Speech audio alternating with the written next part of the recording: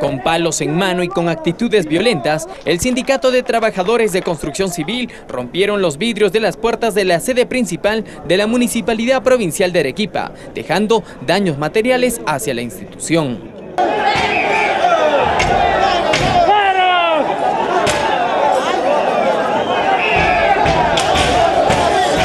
Y para quedar satisfechos lanzaron decenas de huevos a los funcionarios Oscar Carrillo, gerente municipal, Roberto Rosado, teniente alcalde y Ricardo Chávez, asesor de alcaldía, quienes lograron ingresar al municipio con una escolta de policías.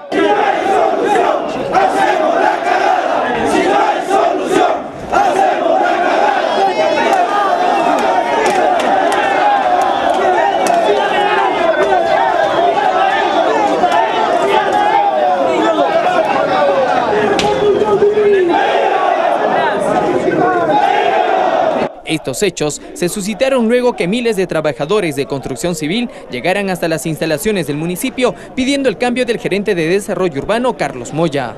Y ustedes observen este, los gritos, las arengas provocativas, desafiantes, ¿no? O sea, eso me parece que no es correcto. Si uno realiza una marcha pacífica, uno tiene que aplicar los términos adecuados también para hacerse respetar y pretender sus derechos, ¿no es cierto?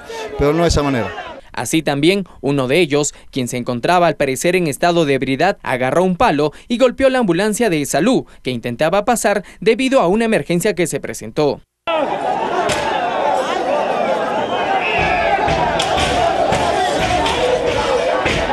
Asimismo, pidieron que se realicen obras por administración directa para que se les dé trabajo. No se pierda un informe completo de estos hechos en su programa de Hoy a las 10.